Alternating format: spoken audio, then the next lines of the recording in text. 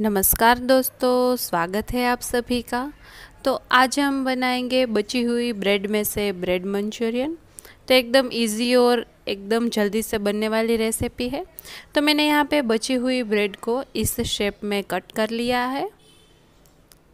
तो मैंने यहाँ पे थोड़ा बटर लिया है। आप चाहे तो ऑयल या घी का इस्तेमाल कर सकते हैं यहाँ पे। और जितने भी कट किए हुए ब्रेड के पीसीस है, उन सबको हम लो फ्लेम पे अच्छे से सेक लेंगे। लो फ्लेम पे सेकने से यहाँ पे हमारी ब्रेड एकदम कुरकुरी हो जाएगी। ब्रेड को सेकने से ब्रेड का टेक्सचर जो हमें बाज़ार में रस्क मिलते हैं, उसके जैसा लगेगा। देखिए, इस तरह से हमें सेक लेना है ब्रेड को। एकदम क्रिस्पी हो चुके हैं ब्रेड यहाँ पे।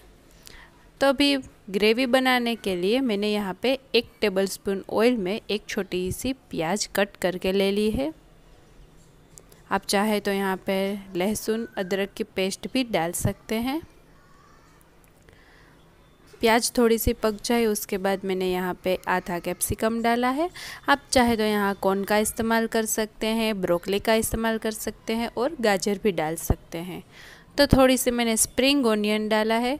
दो दो टेबलस्पून जितना सोया सॉस और एक टेबलस्पून टमाटो केचप आप अपने स्वाद के अनुसार से यहाँ पे सॉस कम या ज़्यादा कर सकते हैं और थोड़ी सी लाल मिर्च पाउडर। थोड़ा सा पानी डालकर हम सॉस का टेक्सचर अच्छे से यहाँ पे हम पका लेंगे। तो बस तैयार है यहाँ पे, हमें बहुत पानी नहीं डालना है। तो हमने जो ब्रेड सेकी है, वो हम इसमें डाल देंगे और मसाले में ब्रेड को अच्छे से मिक्स कर लेंगे।